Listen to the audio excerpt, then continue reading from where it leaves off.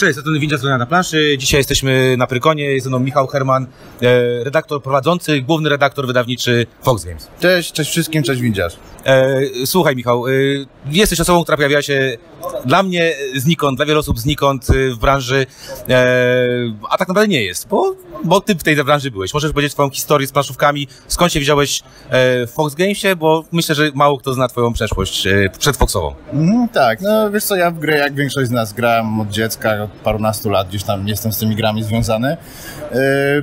Pięć lat temu siedziałem w pracy mojej poprzedniej i mój kolega Filip Miłuński na Facebooku wrzucił ogłoszenie, że po prostu poszukuje kogoś do granny, e, do zespołu redakcyjnego, do, do, do pomocy do siebie. No, uderzyłem do Filipa, zgłosiłem się i dwa miesiące później już, już z Filipem razem w grannie pracowałem. W grannie pracowałem trochę ponad trzy lata. E, jak Filip e, odszedł do Lakidaków, to, to ja też tam stwierdziłem, że gdzieś jakieś zmiany potrzebuję. E, zacząłem trochę gdzieś tam szukać, głównie oczywiście w wydawnictwach warszawskich. No i tak trafiłem do Fox Gamesa. Okej, okay, Fox Games, y, twój początek, pamiętam, y, poznaliśmy się bodajże w targ na targach w Norymbergi? Tak, bardzo możliwe. Tak, tak, bo wtedy biegałeś z Wojtkiem Rzadkiem, e, zostałeś chyba zatrudniony w lutym, a już oko chyba w maju e, okazało się, że Wojtek z różnych tam przyczyn odszedł z Fox Gamesa i Michał Herman stoi na, na czele i jest tak naprawdę, jesteś odpowiedzialny za wszystkie tytuły, które się e, od tamtego roku chyba pokazały, prawda? No tak, rzeczywiście od roku jestem po prostu osobą, która odpowiada za całą linię wydawniczą w Fox Gamesie i, i gdzieś tam dbam o to, żeby się nowe tytuły pojawiały. No, wszystkie te tytuły gdzieś tam od połowy zeszłego roku to już są jakieś tam moje dzieci, tak to nazwijmy.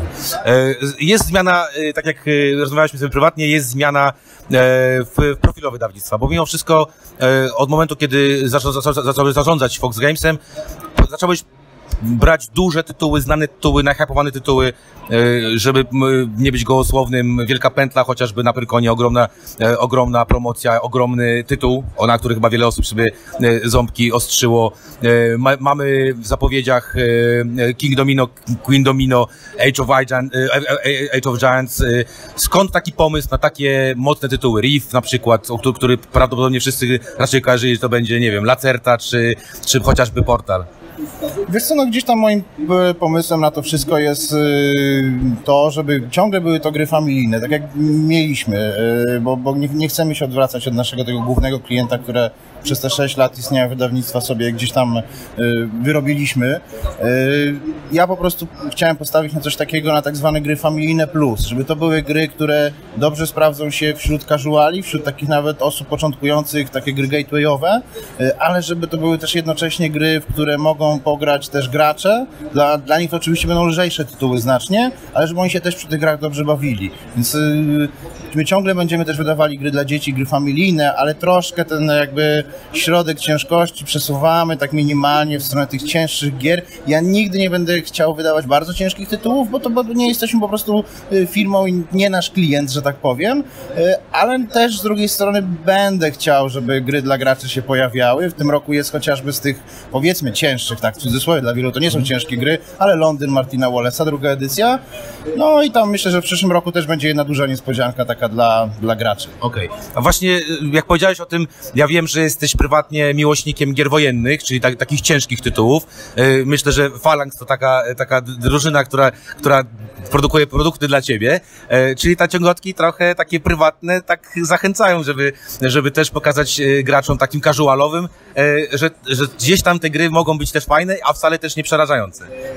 Jasne, gdzieś pewnie, masz rację, tak. To ja, ja prywatnie jestem tak, rzeczywiście gram w gry wojenne i, e, i to jest takie moje hobby, e, hobby, które jest poza trochę moją pracą, tak, bo gry wojenne to już jest taka naprawdę, jak się ładnie mówi, nisza w niszy, e, a zajmuję się jednak wydawaniem lżejszych tytułów, czy też w granie, jak to było, no już takie dla dzieci tak naprawdę.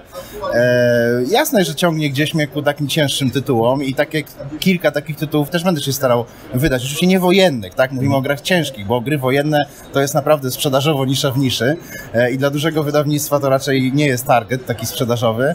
E, I jasne, no gdzieś, gdzieś na pewno, mówię, ten środek ciężkości minimalnie się przesuwa tam w stronę e, czegoś trudniejszego, ale no też na pewno bez przesady. Gdzieś no jakiś szaleństw, jakieś kobyły kilkugodzinne, to nie, nie, trochę nie, nie dla nas.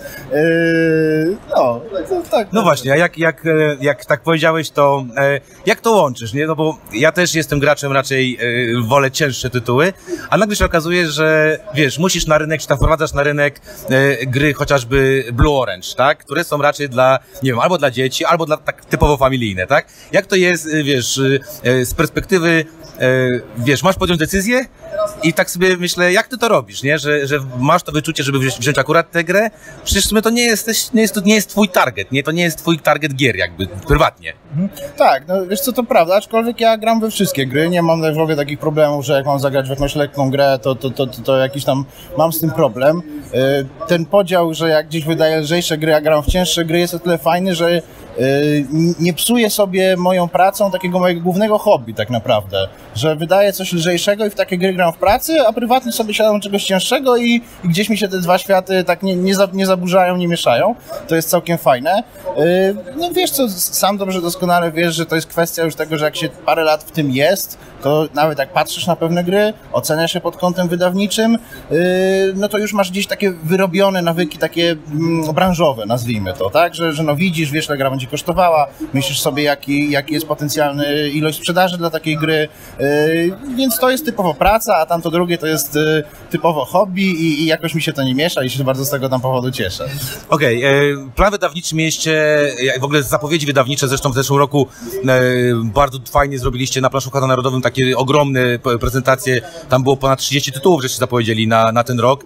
Zresztą powiedziałeś, że to chyba jeszcze nie wszystko, jeszcze ujawniliście. E, ten plan wydawniczy ogromny, e, nie boisz się, że tego jest za dużo, że wprowadzacie na rynek tak dużo fajnych, fajnych gier, że tak naprawdę, e, wiesz, że tutaj ta ilość jednak jest, jest, jest ogromna. Mhm. Wiesz co, tak, to jest dużo, bo to jest jeden z największych planów wydawniczych w Polsce ogólnie to wynika trochę z tego, że w moim i w mojego szefostwa odczuciu e, my mieliśmy troszkę za mało gier na to, jak duża firma jest i jaki ma potencjał, bo Fox Games to jest tylko brand e, grupy wydawniczej Foxal, czyli jednej z największych, jak nie największej grupy wydawniczej, która wydaje książki tak. w Polsce. Sześć wydawnictw książkowych i Fox Games, który wydaje gry. Więc my kanały sprzedażowe i taki potencjał ogólnie firmowy mamy całkiem duży, więc my chcieliśmy to trochę zwiększyć, żeby dostosować to do rozmiarów tak naprawdę firmy. Czy to jest dużo? Jest to sporo całkiem, tylko trzeba pamiętać, że w tych wszystkich tytułach są też komiksy paragrafowe, był Dziennik 29, więc takie tytuły książkowe. Yy, taka nasza druga nóżka, bo gdzieś yy, ja też, jak, jak, pytałeś o to, jak ja sobie tam widzę to całe wydawnictwo, to ja chciałem wydawać, tak jak Ci mówiłem, gry familijne z plusikiem, ale gdzieś budować taką drugą nóżkę gier, które, czy takich produktów, nazwijmy to, które nie do końca są grami, ale trochę nimi są, czyli tak jak nasze komiksy paragrafowe, tak jak y, Dziennik 29, czyli taki escape book tak naprawdę, gdzie będą też dwie kolejne części. Czyli rozumiem, że zapowiadasz to, tak? Oficjalnie możesz powiedzieć, że będą. Tak, oficjalnie mogę powiedzieć, że będzie kontynuacja, druga część dziennika, i będzie wyprawa 1907, to jest też z tego uniwersum, tak nazwijmy, e, książka, która już działa trochę inaczej, jest połączona ze stroną internetową. To jest coś, co e, ucieszy na pewno osoby, które nam, które wybolało to, że w dzienniku nie ma tej fabuły takiej. E, to wyprawa 1907 ma już bardzo taką mocno wyraźnie zarysowaną fabułę, ciągle jest to książka z zagadkami, dzieje się to wszystko w roku 1907, jak tytuł mówi. Mm, jest dziennik prowadzony z rejsu, i ten dziennik zostaje znaleziony przez współczesną osobę, która nanosi na to swoje notatki, próbuje tam rozszyfrować pewne rzeczy i zaczyna popadać w szaleństwo. I tyle mogę na razie powiedzieć. Okay. Dobrze, to powiedzmy trochę o tych waszych produktach. Wydałeś naprawdę sporo takich y, skapowanych tytułów. No powiedzmy, y, mamy powrót do King Domino, tak? Po, takie, te, po, po, po, tej posusze, która była po Games Factory, sięgnęliście po taki tytuł. Masz, macie Sagradę, która, która też jest taka, taka duża. Teraz promujesz na, na Pyrkonie Wielką Pętlę. Skąd taki właśnie jakby pomysł, żeby akurat sięgać po, te, po, po tego typu gry. Y, skąd pomysł na przykład, żeby wziąć King Domino, które przecież na rynku już jakiś tam, jakiś tam czas jest. Nie boisz się tego, że na przykład właśnie w przypadku King Domino wszyscy, którzy mieli już mieć tę grę, to już ją mają? Nie, nie boję się, bo wiesz, znam wyniki sprzedażowe King Domino w Polsce, znam wyniki sprzedażowe King Domino na świecie. To jest w ogóle trochę tak, że ta gra, jak się pojedzie do Niemiec, do Francji i gdzieś popatrzy na rynek, to ona ma tam status bardzo podobny do Carcassonne czy Katana. Ona w Polsce jest troszkę taka bardziej zapomniana, przykryta kurzem, yy, gdzieś przez to, no, że po prostu miało ją mniejsze wydawnictwo i, i może nie rozpromowało jej tak, jak, jak można by to było zrobić. Więc ja się tego nie boję, bo ten tytuł akurat to myślę, że większość wydawnictw w Polsce chciało mieć. E, my przy okazji widzieliśmy całą linię, więc ja też liczę na to, że wejście dodatku, czyli Ery Gigantów i Queen Domino w jednym momencie trochę e, nakręci sprzedaż King Domino. E, drugą rzeczą jest to, że organizujemy bardzo duże Mistrzostwa Polski. Będziemy o Właśnie, tym... możesz powiedzieć trochę szczegółów, jakieś nagrody, jak gdzie to będzie, jak to będzie, jak to będzie robione? Dobra, jasne. Jeszcze tego nie zapowiadaliśmy, więc zapowiem to powiedzmy u Ciebie. Za chwilę będziemy to zapowiadać, więc zaraz startujemy z serią turniejów eliminacyjnych do Mistrzostw Polski. Będzie to podzielone na dwa rodzaje turniejów turniejów, trochę jak we sporcie, majory i minory. E, minory będą się odbywały, czyli mniejsze turnieje na różnych mniejszych konwentach, zaprzyjaźnionych sklepach, e, na jakichś takich mniejszych wydarzeniach e, i jedna osoba, która zwycięży turniej będzie miała prawo zagrać w finale Mistrzostw Polski, który odbędzie się w grudniu na Stadionie Narodowym, na, na imprezie planszówki na Narodowym. Będą też majory, które będą na większych konwentach i tam czterech finalistów będzie, tam będą też fajniejsze nagrody i czterech finalistów będzie kwalifikowało się do mistrzostw. Mistrzostwa się odbędą, tak jak powiedziałem, w grudniu na Narodowym. Będzie całkiem fajna nagroda, bo to będzie 2000 zł. Myślałem, że zamek.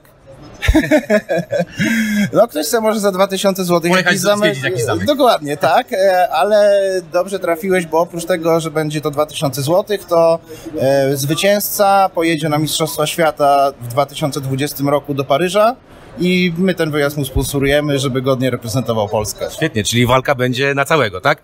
E, Okej, okay, e, powiedziałeś o trzech tytułach, mamy tam Queen Domino, ja grałem w ten tytuł już dosyć dawno, on w Polsce praktycznie jest nieznany, to tylko niektórzy recenzenci udało im się gdzieś tam dorwać e, zagraniczne wersje. To jest tytuł troszeczkę trudniejszy niż King Domino. E, I jak patrzysz z takiej perspektywy wydawniczej, e, wróżysz mu sukces na zasadzie takiej, czy, czy ludzie, którzy grają, uwielbiają King Domino, Queen Domino, które jest trochę trudniejsze, nie, nie, nie pokona ich jakby na zasadzie, że jest przekombinowany albo zbyt trudny dla nich? Nie, bo liczę gdzieś, że, że ta grupa tych lżejszych odbiorców sięgnie po to z ciekawości na zasadzie, że spodobało im się King Domino, to może będą właśnie chcieli spróbować czegoś trochę trudniejszego, bo King Domino nie jest bardzo trudną grą, jest troszkę trudniejszą grą. E, I liczę, że to właśnie będzie też tego typu gra, tak jak mówię, te takie familijne z plusikiem, że po tą grę, grę już będą chcieli też gracze sięgnąć jako po prostu po taki trochę lżejszy, abstrakcyjny tytuł, bo tam jest no już jakby zasady zachowane są z King Domino, dochodzi nowy rodzaj terenu, gdzie można po prostu budować budynki, jest cały zestaw budynków jeszcze do tego, no i jest po prostu trochę większa, trochę większe kombinowanie, jak te punkty połapać. Ja liczę, że liczę, że będzie dobrze, czas pokaże, prawda, ale my będziemy gdzieś tą całą serię tych trzech gier mocno za chwilę promowali, e, przynajmniej wobec. Liczę gdzieś na te Mistrzostwa Polski, że, że one też e, trochę zachęcą. za, zachęcą. E, a tak naprawdę sam wiesz, jak to jest. No, czas, czas pokaże, no, ale liczę, że źle nie będzie. Dobrze. Jedną z waszych e, e, takich super serii wydawniczych są komiksy, o których wspomniałeś, paragrafowe. E, jak ta seria będzie się rozwijała? Czy dalej będziemy dostawać te, te, te komiksy? Jak często planujesz? Bo ludzie bardzo to lubią. Jak zauważyłem na, na konwentach, to, to bardzo, bardzo dużo osób sięga po to, z tej półeczki waszej to szybko znika i, i, i naprawdę bardzo fajne opinie. E, tak, będziemy kontynuować serię. To, to jest y, bardzo dobrze sprzedająca się seria. Może nie już tak jak dwa lata temu, nie jest to już taka, taki boom, taka nowość. Ludzie się przyzwyczaili. W serii jest obecnie 14 komiksów. Y, w tym roku ukażą się jeszcze dwa. I oczywiście mamy już podpisane kolejne komiksy na, na przyszły rok. Je, jedno co, że będziemy wydawali ich już trochę mniej, ale to ze względu, że seria jest już bardzo duża, 14 komiksów i one jest taki tak ładne pojęcie, kanibalizują się, tak? Już trochę ze sobą. E, i chcemy trochę tego uniknąć i też mamy takie sygnały, że jakby w tym roku wydaliśmy, wydamy 8 w sumie. I już mieliśmy takie nawet sygnały od fanów, że oni nie nadążają trochę jakby z czytaniem, z graniem w to, e, więc troszkę chcemy wyhamować, e, ale generalnie gdzieś tam też moją jakąś ideą jest, żeby te książkowe produkty, E, tak jak mamy komiksy, czy tak jak jest dziennik i będzie kilka tych dzienniko z rodziny dziennika, żeby rozwinąć to trochę jeszcze bardziej i żeby to się stało takim naszym punktem mm, rozpoznawczym, e, bo tak jak już wspomniałem, my należymy do grupy książkowej. Nam jest dobrze z książkami fajnie pracować, bo mamy po prostu sieć dystrybucji też pod książki i ja bym chciał gdzieś, żeby Fox oprócz gier miał taką drugą nóżkę w postaci linii książek, w które można na różne sposoby grać. I na przyszły rok mamy bardzo fajną jeszcze niespodziankę z tym związaną. A, czy dobrze, to super, to bardzo się cieszę. E, e, Pyrkon to wielka pętla, można do was przyjść, zrobić sobie zdjęcie jako kolarze, może sobie u was zagrać, e, prom, macie jakieś promki do, do, do wielkiej pętli, ale w związku z tym bardzo dużo osób pytało e, gdzieś tam, e, jak będzie dodatkami do, do, mamy tam Meteo, mamy tam e, rozwinięcie na kolejnego gracza, jak będzie dodatkami? Czy, czy planujesz e, i planujecie e, też wspomóc polski rynek właśnie tymi, e, tymi dodatkowymi elementami? Mm, tak, y, planujemy zdecydowanie. To mogę na ten moment powiedzieć, że no powiedz, na 90% ukażą się oba dodatki. Y, Tu jest jedyny problem z tym, że te dodatki są drukowane raz do roku u licencjodawcy jakby zbiorczo dla wszystkich krajów i my musimy czekać na ten druk wspólny, więc y, prawdopodobnie y, duży dodatek Peloton to będzie mm, pierwsza połowa przyszłego roku, natomiast jeszcze powalczymy, żeby ten mały taki dodatek pogodowy Meteo wydać może jakoś w końcówce roku, ale tu nic obiecać nie mogę, bo nie do końca jest to niestety zależne od nas. Jasne, ale rozumiem, że wszyscy, którzy w Flam Rouge, też Wielką Pętlę, polski tytuł e, lubią, nie mają się czego obawiać, będziecie wspierać ten produkt. Będziemy wspierać ten produkt, to jest takie nasze top 3 na ten rok, y, więc na pewno, powiedzmy tak jak z Sagradą, to już wiemy, że już dodatek płynie, za chwilę będzie i w przyszłym roku też mogę powiedzieć, że wydamy kolejny dodatek do Sagrady, Y, to tak samo będziemy chcieli Wielką Pętlę wspierać, y, żeby ten tytuł był cały czas przy życiu. E, No masz w planach wydawniczych kolejne tytuły, M, jak miałbyś tak y, powiedzieć, wybrać jeden z nich, który będzie jeszcze jeszcze nie pojawił, który będzie najlepszy w tym roku z tych, które się jeszcze nie, nie pojawiły. Z tych, których się jeszcze nie pojawiły na ten rok, a już je zapowiedzieliśmy, no to na pewno liczymy bardzo na Rifa, czyli na drugą po Azulu y, grę od planu B, y, te czteroliterowe tak zwane gry abstrakcyjne. To liczę na Rifa, jest naprawdę bardzo solidną grą i bardzo ładną. Y, na pewno liczę na Klub Detektywów, Detectives Cup. To jest gra, o której jeszcze dużo ludzi nie wie, Jak chcecie, to posłuchajcie naszej topki, to tam jeden z nas, czyli ja, mówię o tej grze trochę. a to widzisz, jeszcze nie słuchałem, ale posłuchał. To fajnie, dziękuję. To 3 zł dla Ciebie, proszę widzieć. Nie słuchajcie tego, to 2,50 mi dał tak naprawdę. z podatkiem, wiesz. E, To także Klub Detektywów. Klub Detektywów, żeby nie przedłużać, to jest taka e, gra, gdzie to jest skrzyżowany Spyfall z Dixitem, z bardzo ślicznymi ilustracjami. Jest bardzo, ale to naprawdę bardzo fajną grą imprezową. O niej jeszcze nie jest tak głośno, bo licencjobiorcy, którzy ją wykupili na SN jeszcze jej, nie, jej w swoich krajach nie opublikowali, ale na pewno będzie o niej troszkę głośniej za chwilę, więc na pewno liczę jeszcze na klub detektywów. Nie mieliśmy też To tego... też będzie puszka tak jak w oryginale? Nie, to będzie pudełko. To będzie pudełko, większe pudełko, duży taki To ja się z tego bardzo cieszę, bo pudełko e, łatwiej jest e, zmieścić na, na, na, na, na, na półeczkę i ładnie się komponuje, aczkolwiek moja, moja puszka ma taki piękny na, na, napis e, dla windziarza Olek Newski, także e, bardzo, bardzo fajnie. E, zresztą bardzo polecam Klub Detektywów, e, faktycznie tak jak mówisz, to jest bardzo, bardzo przyjemna, przyjemna gra. Słuchaj, powiedz mi, e, z wszystkich tytułów, które wydałeś, jesteś najbardziej dumny z? Myślę, że Fox Gamesie no to z Sagrady, bo to, to jest taka gra, która za mną już chodziła od trzech lat, żeby ją wydać. My już żeśmy podejście w Grannie pod to robili znacznie wcześniej. Wtedy się nie udało z różnych względów i jak przychodziłem do Fox Gamesa, to była taka gra, którą w pierwszym tygodniu w plecaku przyniosłem po prostu moją prywatną kopię i się tam wyjąłem na stół i powiedziałem, że musimy to wydać po prostu, bo to jest bardzo dobra gra. E, A w Grannie myślę, że z niezłych ziółek. To była bardzo fajna taka gra. Och, która- uwielbiam, uwielbiam. To taka gra, która mi taką dużą przyjemność sprawiła, też była jakby strasznie trudna w negocjacjach. y, y, Osoby tam po drugiej stronie, z którymi rozmawialiśmy, no bardzo się długo ciągnęło, wisiało na włosku parę razy. Ta gra dla grany też się okazała tam sukcesem, więc jakąś tam satysfakcję z tego mam. Więc myślę, że te dwie gry. A skoro o tym mówisz, o tych negocjacjach, y, co jest najtrudniejsze dla ciebie w pracy, w pracy wydawcy? Najtrudniejsze w pracy wydawcy jest trochę to, żeby mm, nadganiać za tym, co się dzieje, jakby nadążać cały czas, żeby być trochę do przodu, bo to, co jakby gracze widzą na stołach, to no my gdzieś tam wcześniej już widzimy yy, i najtrudniejsze jest dla mnie to, żeby dotrzeć do wydawnictw, y, które może jeszcze na przykład Fox Games aż tak dobrze nie kojarzą, szczególnie te większe, y, jako, że nie kojarzą nas z bycia potencjalnym dużym partnerem na Polskę i jakby y, uzmysłowienie im tego, że w Polsce istnieje ktoś oprócz Rebela i Portalu, w miarę poważny, jako, jako taki partner dla jakiegoś naprawdę dobrego tytułu. No oczywiście wynegocjowanie tytułów, tak żeby one miały dobre ceny, to jest coś, co ja na to bardzo duże mam mm, baczenie, że, żeby te tytuły były też w dobrych cenach. Tak samo było z Wielką Pętlą. To negocjacje trwały dosyć długo, żeby, żeby właśnie tą cenę się udało taką wynegocjować, jaka ona teraz No jest. ja za kulisą mogę powiedzieć, że Wielka Pętla to, to Michał, y, byłeś pewnie jednym z dziesięciu, no, nastu wydawców w Polsce, którzy chcieli tę grę mieć.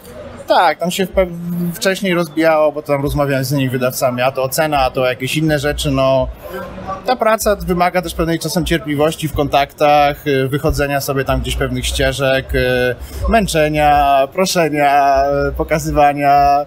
y, No i cieszę że tam się, że się udało ją wydać. E, dobrze, skoro powiedziałeś o tych takich właśnie problemach, a powiedz mi, jak sobie radzicie z taką e, z krytyką, która się czasem gdzieś tam pojawia? A to ktoś tam mówi, że ten wariant w Sagradzie, który, który powinien być taki jak od początku, czy na przykład e, jakiś tam problem z jedną zagadką w dzienniku, czy tam rzecz czcionka w dzienniku, jak sobie z tym radzicie, wiesz? Bo to, bo to jednak mimo wszystko ludzie piszą, to się czyta, każdy z nas to widzi e, i jest po tej drugiej stronie i to, to nie jest chyba tak do końca przyjemne, ale jak się z tym, jak sobie z tym, z tym jako wydawca ra, radzisz?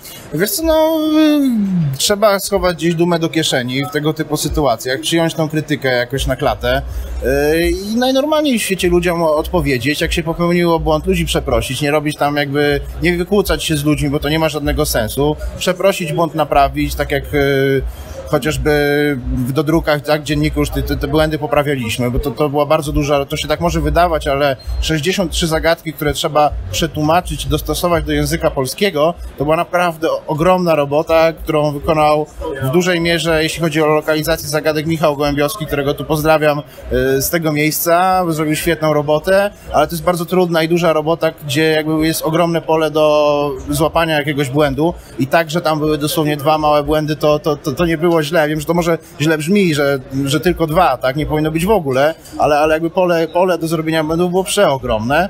Yy, Jak sobie z tym radzimy, wiesz, no tak jak powiedziałem, no trze- trzeba jakby by wziąć na siebie odpowiedzialność, przeprosić, naprawić błędy i yy, to gdzieś tam powiedzenie klient nasz pan, no, to, no jak najbardziej funkcjonuje, bo, bo dla, tych, yy, dla tych klientów i dla tych ludzi, którzy też tam czas, czasem coś wytkną, my to wszystko robimy tak naprawdę i oni jak najbardziej mają prawo do tej krytyki, a naszym zadaniem jest po prostu, żeby swój błąd naprawić. Liczymy po prostu, że jak naprawiamy błędy, to jest to też zauważalne i klienci też jakby rozumieją yy, i są w miarę wyrozumiali, no, że to jest yy, taka branża, jakby, gdzie, gdzie, gdzie błędy się zdarzać mogą. Yy, najważniejsze, żeby je po prostu naprawiać. E, Skoro powiedziałeś też o tytanicznej e, pracy, to też chciałbym, żeby nasi słuchacze e, mieli taką świadomość. Kroniki zbrodni to jest też ogromny projekt. Tam jest bardzo dużo kontentu, który trzeba było przygotować. Jak długo trwała praca nad tym, żeby z kronik zbrodni z angielskiej wersji, a nawet angielsko-francuskiej wersji zrobić polską? Powiedz taki zakulisowo, jak zaczęliście pracę, to kiedy skończyliście i jak naprawdę, e, ile to tak dokładnie trwało? Wiesz co, kroniki lokalizowane już po podpisaniu umowy, bo już ten czas odejmuje, że tak powiem, na to, że kiedy, że ogrywaliśmy, negocjowaliśmy. Yy, lokalizacja kronik trwała prawie pół roku. To była bardzo duża praca. Yy, sama liczba znaków w kronikach łącznie to jest 600-stronnicowa książka. My z, wiedzieliśmy, że to musi być zrobione bardzo profesjonalnie. Um, I zaczęliśmy szukać, zastanawiać się, kto mógłby, y, no bo jeśli zaczęlibyśmy to redakcyjnie robić, to byśmy po prostu nie robili nic innego i, i praca by stanęła, więc musieliśmy poszukać kogoś, kto y, Kroniki Zbrodni dla nas zlokalizuje po prostu na język polski i my to już będziemy po prostu sprawdzać później sobie. Y, I ja tutaj sięgnąłem po nasze zasoby właśnie w grupie wydawniczej Foxal. Poszedłem do, do jednego z redaktorów, który zajmuje się kryminałami głównie i zapytałem się, czy on nie zna kogoś, kto mógłby takie, taką grę przetłumaczyć dla nas, a przy okazji chciałem, żeby to był ktoś mm, obyty w technologiach w miarę nowoczesnej, bo chodziło też o to, że ta osoba musiała jednocześnie budować w takim specjalnym programie dedykowanym tą, y, tą, tą wersję polską, lokalizować ją, tworzyć aplikację tak naprawdę na takim programie. Więc to musiał być ktoś, kto oprócz tego, że y, oczywiście moglibyśmy to rozdzielić na jakieś dwie osoby, ale fajnie by było, żeby to była osoba, która by wzięła to jako jedna osoba i to koordynowała. I jeden z redaktorów u nas w firmie powiedział mi, że jest taki człowiek, nazywa się Tomasz Konatkowski, jest autorem książek, yy, wydał bodajże 6 czy 7 kryminałów, z czego, z czego jeden Przystanek Śmierć był nominowany do takiej najbardziej prestiżowej nagrody wielkiego kalibru, yy, taki dla książek kryminalnych, który oprócz tego, że jest pisarzem kryminałów, to jest też tłumaczem kryminałów, a do tego przez 15 lat pracował w IT. Zaprosiliśmy Tomka do nas, e, do firmy, pokazaliśmy mu grę, powiedzieliśmy o co w tym wszystkim chodzi, on bardzo entuzjastycznie do tematu podszedł i, i to był strzał w dziesiątkę, bo Tomek, Tomek spisał się świetnie naprawdę podczas lokalizacji kronik, yy, zrobił to naprawdę po mistrzowsku, on ma jakby bardzo dużo, yy, dużą wiedzę, jeśli chodzi o sprawy policyjne, Y, o stopnie, o rodzaj broni. On to potrafił świetnie jakby oddać. Tam, tam nie ma takich błędów y, merytorycznych. merytorycznych, dokładnie tak, że ktoś, nie wiem, no jakimś tam używa jakiejś na przykład broni w policji, której policja na przykład londyńska nie używa. Są jedna jego książek była o londyńskiej policji, miał temat naprawdę dobrze, dobrze rozeznany. Tomek zrobił to świetnie, on lokalizował teraz Kroniki Zbrodni dodatek Noir. Y, no i to też jakby duża praca u nas, głównie mojego nieocenionego redaktora Marka, który, który to później siedział i, i przeklikiwał, jeszcze wszystko sprawdzał. E, także kroniki były dużą rzeczą, nad którą pracowało łącznie po naszej stronie dobrych parę osób było zaangażowanych, a łącznie jakby jeszcze z pomocą Lucky Ducków, tym polskiego oddziału, tak jakby Filipa, Przemka z produkcji, to, to prawie paręnaście osób e, brało udział przy, przy ogólnych pracach, przy kronikach polskich. Dobra, to teraz y, y, będziemy za chwilę kończyć. Y, zadam Ci takie szybkie pytania, ale szybkie odpowiedzi bym prosił. Pierwsze pytanie, kto jesteś na Prykonie, gra roku w tym roku w Polsce? Kto wygra? Eee, wiesz co, ja się powstrzymam, bo ja wiem, kto wygra. A. Okay. A najlepsza gra roku dla Ciebie w tym roku? E, najlepsza... Oprócz Foxa, oczywiście, no nie mów o, o Foxa. E, najlepsza gra roku poprzedniego dla mnie, szczerze, Azul. Azul, Azul, tak, tak. Ładna, prosta, e, dająca duże pole do pokombinowania. E, naprawdę bardzo dobra gra, a z, a z cięższych e, wiem, że niepolitycznie mówię dla, dla moich kronik, ale Detektyw Ignacego jest naprawdę bardzo dobrą grą najlepsza gra Michała Hermana, którą siadasz, możesz, wiesz, budzę cię w nocy i mówimy, dobra, to piękniemy to? Eee, wiesz co, albo Ścieżki Chwały, Path of Glory, to jest gra wojenna, taka bardzo, bardzo znana wojenniakom, albo Zimna Wojna, Twilight Struggle. Okej. Okay. Eee, jak często grasz prywatnie?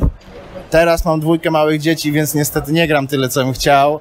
Staram się ten raz na tydzień w coś tam jakiegoś sensowniejszego zagrać. Czasem coś z moją partnerką gramy w jakieś, jakieś takie maleństwa. Z, powiem tak, gram za mało i chciałbym grać więcej, ale są momenty w życiu, gdzie, gdzie, gdzie jest troszkę mniej na to czasu, e, ale na szczęście gram w pracy dużo, więc... Michał Herman y, poza planszówkami interesuje się najbardziej czym? E, poza planszówkami, wiesz co, chyba piłką nożną. Ja z wykształcenia jestem dziennikarzem, pracowałem przez 6 lat w telewizji jako dziennikarz sportowy. E, od dziecka jestem fanem, e, fanem piłki nożnej i chodzę na mecze, mecze oglądam, więc, więc, więc chyba to będzie piłka nożna, zdecydowanie. No i takie twoje plany na przyszły rok, jeżeli chodzi o Fox Games, ile tytułów tak myślisz zrobisz? E, myślę, że będzie to podobna liczba do tego, co w tym roku. Może troszeczkę mniej, o kilka.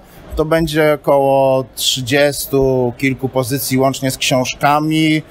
Nie mogę powiedzieć do końca wszystkiego. Nie, jasne, plan, plany, plan mamy już taki w dwóch trzecich gotowy na przyszły rok. Większość rzeczy już mamy tam takich, wiemy co będziemy tak z grubsza wydawać. Oczywiście jeszcze będzie SN po drodze, jeszcze, jeszcze będą jakieś mniejsze imprezy, yy, ale to będzie w sumie z książkami, 30 kilka tytułów. Okej. Okay. czego życzysz yy, graczom? Graczom życzę, wiesz, standardowo, żeby się dobre tytuły ukazywały, żeby się ukazywały na czas tym graczom, którzy tam wspierają gdzieś na wspieraczkach, Kickstarterach, żeby te rzeczy tam do nich docierały bezproblemowo. Y, życzę im po prostu dobrych gier w dobrych cenach. Okej. Okay. E, czyli co, za rok y, możemy się spodziewać, że na podczas gry roku Fox Games będzie gdzieś tam e, walczył jakąś pierwszą pozycję? Wiesz co, no w tym roku walczymy, no bo tam mamy dwie gry nominowane. g- Ale już powiedziałeś, że wiesz i nie możesz powiedzieć. Ja też coś tam wiem, więc też nie mogę powiedzieć. nie? Tak, to prawda. No mamy w tym roku, wiesz, w tym top, top 5 rodzinnych Sagradę, mamy w top 5 dziecięcych Katamino grę rodzinną. Y, Chcia, y, fajnie by było tak, wygrywać, y, ale dla mnie już nawet so to, że dwie gry wśród tych 15 po prostu nominowanych w Polsce, jak się znajdują, to jest naprawdę spoko. Chciałbym wygrać, jasne. Kto by nie chciał, ale... ale... Ale powoli. ale powoli, jasne, wiesz, y, nagrody są fajne, to zadowolenie klienta jest najważniejsze mimo wszystko y, i na tym mi najbardziej zależy. E, gdybyś miał możliwość wydać dowolną grę na świecie, wszystkie licencje są dla ciebie wolne, nie masz limitów budżetowych i Michał Herman ma wybrać jedną grę, którą by mógł wydać na rynek polski, może ona już być e, u kogo innego, kto to by, co by to było? Co by to było? Ciężkie pytanie. Bardzo proste pytanie, wszyscy mówią Monopol. A, wiesz, pod takim względem... Nie, nie, ja mówię takim, wiesz, takim, to jest taki, taki, taki, wiesz, nie wiem, brylancik, diamencik, który, który jest taki cudowny, że stwierdzisz, o, to by było być super w swoim portfolio. Znaczy wiesz, no, pod względem takim sprzedażowym i tego, że to jest taka super prosta gra koncepcyjnie i on się pokazuje w 10 sekund i, jest takim mega dobrym produktem, no to są doble. No kto by nie chciał dobli mieć, no doble są... Są doble. są, są dobre, nie? I są, są po prostu złotym jajem tak naprawdę. E, a z jakichś takich trudniejszych, cięższych tytułów, to pewnie, bo jestem jego dużym fanem tej gry, e, wydałbym ponownie w jakimś super anturażu chaos w Starym Świecie, bo, bo dobra gra, ja ją naprawdę bardzo lubię i, i szanuję to po prostu. Okej, e, no to słuchajcie, to myślę, że tyle. Ja z Michałem jeszcze mam szansę się spotkać nie raz, także gdybyście mieli jakiekolwiek pytania, po prostu napiszcie do nas czy mailem, czy w komentarzu. Ja Michała kiedyś tam mogę dorwać, bo my się często widujemy na szczęście. E, mam nadzieję, że się chociaż trochę lubimy i nie, ma problemu, żebyśmy ze sobą pogadali. Gdybyście mieli jakieś, jakieś fajne pytania, to dajcie te pytania. E, ja z mojej strony mogę Ci tylko życzyć, żeby e, e, w kolejnym roku więcej tych gier było w tej 15 finałowej, żebyśmy mieli super e, fajne tytuły od Was, bo, bo naprawdę, tak jak Ci powiedziałem, e, ta robota Wasza jest bardzo, bardzo przyjemnie się na to patrzy z boku. No i, e, no i co? No i samych sukcesów i, i do zobaczenia w następnym, na następnym konwencie. Dzięki Windziarz, tu jest drugie 3 złote, obiecane, to już sobie masz kole kupić na Pyrkonie i ten, ale dzięki za rozmowę, robisz też fajną robotę, muszę przyznać i co. I dzięki, i dzięki wszystkim za, za, za wysłuchanie. Dobra, i zapraszamy Was oczywiście do pogrania na, w, w gry, y, w gry Foxa. Oglądajcie y, profil Foxa.